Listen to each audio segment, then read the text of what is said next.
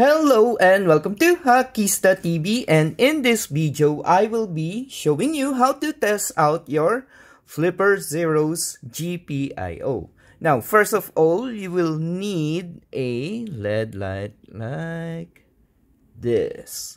And if you don't know where the GPIO of your flipper is, it is on the top portion of it. Now a LED light would have a long long and short feet.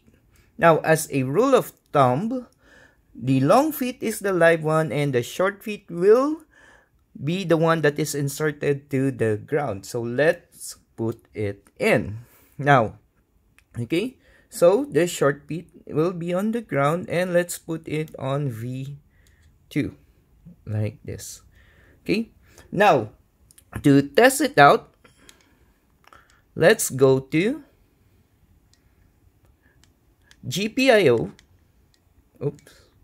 GPIO, GPIO manual control, and let's go to where we put it, which is B3, and let's just click it out. And as you can see, every time I click it, it will turn on.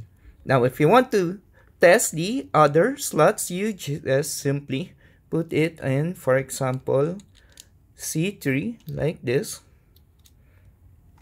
And let's go to C3 and just click it. Okay. Now, that is how you can test your GPIO. And if you like this video, be sure to watch my other flipper video here on Hakista TV. Till next time, my fellow Hakista.